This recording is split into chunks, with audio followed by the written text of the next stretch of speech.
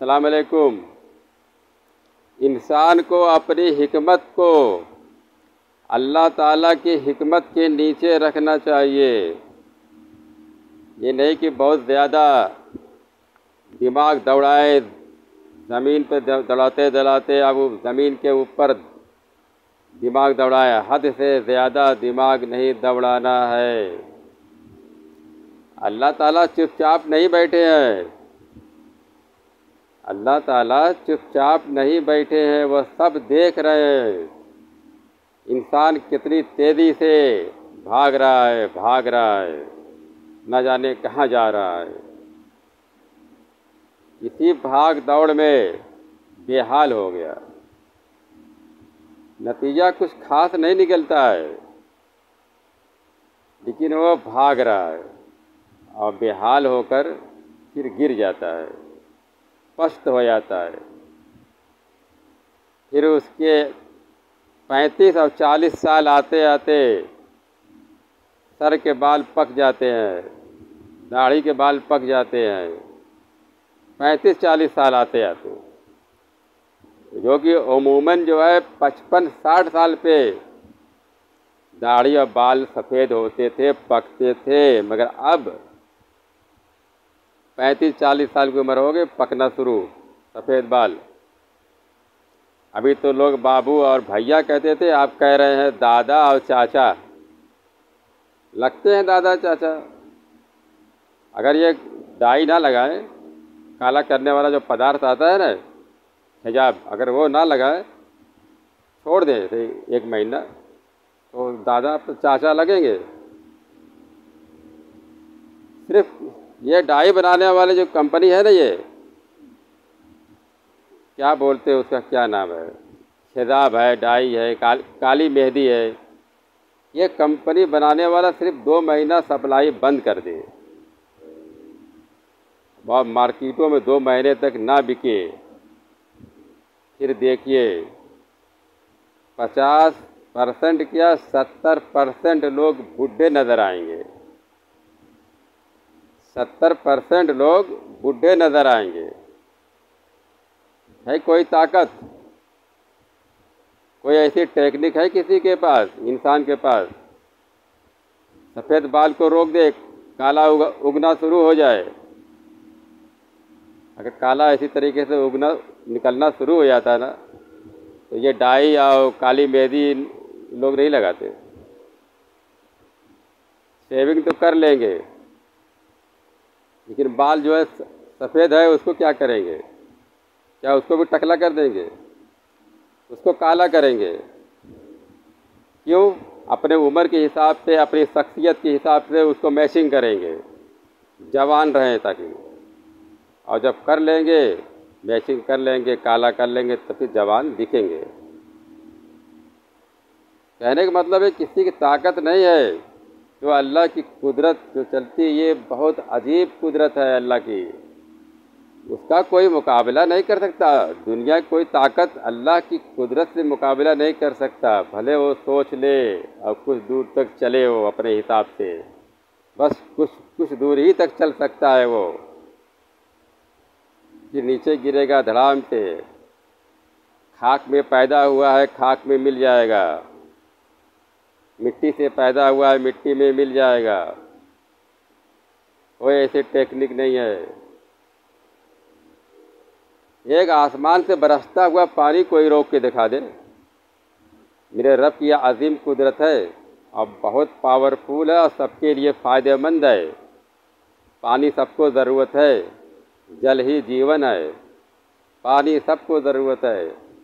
जब अल्लाह ताला पानी बरसाते हैं तो कोई ऐसी टेक्निक नहीं है कोई ऐसी ताकत नहीं है कोई ऐसी साइंस नहीं है कि उसको रोक दे। या उसको कम कर दे। ये मेरे रब की बहुत अजीब कुदरत है। अजीब है, अजीम है बहुत निराली है। या बदियो अजाइब बिल खैर, या बदियो।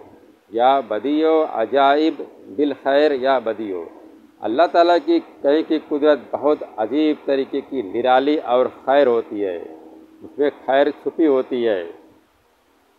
हम समझते हैं, अरे बहुत बारिश हो रही है यार ये हो गया, ये ख़राब हो गया, रास्ता ख़राब हो गया, हमारा कारोबार बंद हो गया। उसमें खैर होती है। हवा कोई चलती है ना, हमारा थोड़ा सा नुकसान कुछ हो जाता है। लेकिन अल्लाह सुबहान ताला उसमें खैर छुपाए रहते हैं। हम लोगों के लिए, हम लोग को मालूम नहीं पड़ता। अल्लाह की बहुत अजीम कुदरत है हम लोगों पर। अल्लाह का ये एहसान है, अल्लाह का शुक्र है, अल्लाह का शुक्र ज़िक्र अदा करना चाहिए, ज़्यादा से ज़्यादा। एक मामूली सा एक मैं आपको अल्लाह की एक मखलूक, छोटे से मखलूक के बारे में बता रहा हूँ।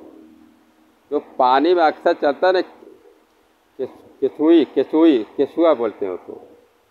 वो किसुए के ऊपर देखो, अल्लाह ताला कितना अच्छा हेलमेट लगाए हैं। आप पत्थर भी मार देंगे ना, फिर भी वो मरेगा नहीं, पत्थर छड़क जाएगा। वो सेफ्टी के लिए बनाया अल्लाह ताला।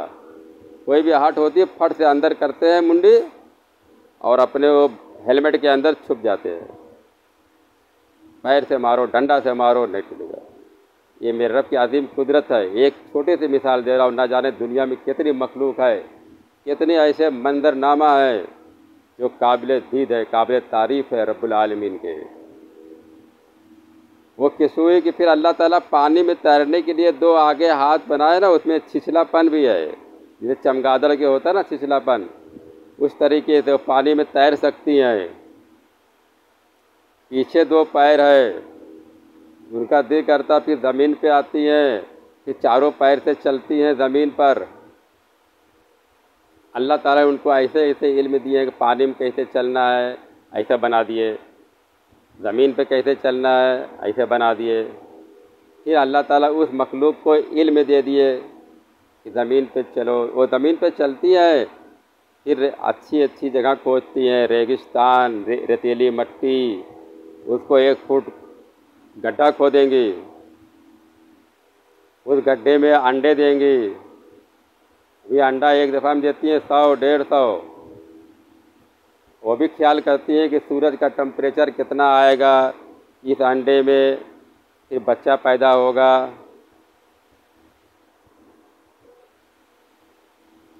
उसमें अंडा देती हैं, अंडा देकर फिर वापस चली जाती हैं समुद्रों में। मेरा कहने का सारा निचोड़, सारे कायनात को पालने वाला रोदी देने वाला और हमत देने वाला अल्लाह ताला है। कुरान पढ़िए, किसी किसी सूर्य में बहुत सबक आमोज अल्लाह ताला के अहकाम हैं।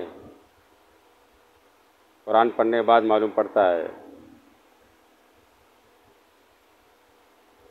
कल हम इंशाल्लाह अल्लाह की कुछ और मखलूकियात पर बताएँगे, हम बयान करेंगे। जैसे कुछ रंगीन पहाड़ों के बारे में और कुछ मखलूक के बारे में हम आज तफसील से बयान करेंगे। इन आप लोग देखिए। बहुत, यानी पाँच बजे तक कल हम वीडियो बनाएँगे। बहुत अच्छी वीडियो रहेगी। उस पर गौर करिए और हम लोग को गौर करना चाहिए अल्लाह की कुदरत पर, ताकि हम अल्लाह का शुक्र अदा करें, ज़्यादा से ज़्यादा। ये नहीं कि थोड़ा से। अल्लाह ताला बताएँ कि मैं इतनी सारी नेमतें दे दिया फिर भी कलीलम मातशकुरून बहुत कम लोग, बहुत थोड़े से लोग मेरा शुक्र अदा करते हैं। बहुत थोड़े से लोग मेरा शुक्र अदा करते हैं। कलीलम मातशकुरून ज़्यादा से ज़्यादा शुक्र अदा करिए। अल्लाह की बड़ाई। अल्लाह अकबर। अल्लाह अकबर। अल्लाह का ज़िक्र करिए। अल्हम्दुलिल्लाह। अल्हम्दुलिल्लाह। अल्लाह ने, अल्लाह ताला न जाने कैसे कैसे नेमतें हम लोग को बख्शी है, हम लोगों की अच्छाई के लिए। मेरे वीडियो दूसरों तक पहुंचाइए, दूर तक, और लोग समझें और गौर करें अल्लाह की कुदरत पर, ताकि अल्लाह ताला का शुक्र अदा करें, अल्लाह की इबादत करें, अल्लाह का ज़्यादा से ज़्यादा ज़िक्र करें। अगर ये ज़िक्र करेंगे ना सुबहान अल्लाह व बेहमदई सुबहान अज़ीम अस्तफ़िरल्ला ये समझ लीजिए सारी मखलूक का ये ज़िक्र है, परिंदों का ज़िक्र है, मछलियों के अंदर भी रोज़ी देते हैं अल्लाह ताला हमारे ज़िक्र से। बहुत सारी मखलूक का यही ज़िक्र है। सुबहान अल्लाह व बेहमदई सुबहान अज़ीम व बेहमदई अस्तफ़िरल्ला ऐसे पूरा पढ़िए, सौ बार पढ़िए, सब कुछ मिल जाएगा।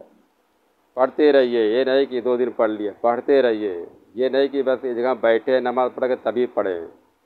चल रहे हैं, पढ़ लीजिए। बैठे हैं, पढ़ लीजिए। गाड़ी में बैठे हैं, पढ़ लीजिए। पढ़ने में क्या जाता है? कोई बैटरी खर्च होती है क्या? जबान चलाना है। सो रहे हैं, पढ़ लीजिए। खाना खा के उठ गए, टहल रहे हैं ना, खाना खाने बाद पढ़ लीजिए। बहुत बड़ा स्वाब मिलेगा, ये सब सबक आमोज बातें हैं। और कल इन बहुत अच्छी वीडियो बनाऊँगा, अल्लाह की कुछ मखलूक़ात के ऊपर। और उस पर गौर करिए और समझिए। मेरा मतलब ये है कि मेरी बातों को समझा जाए और फिर उस पर गौर किया जाए और फिर उस पर अमल किया जाए ताकि लोगों को फ़ायदा पहुँचे। मेरा मैं, मेन मतलब लोगों को फ़ायदा पहुँचाना है। अस्सलाम वालेकुम।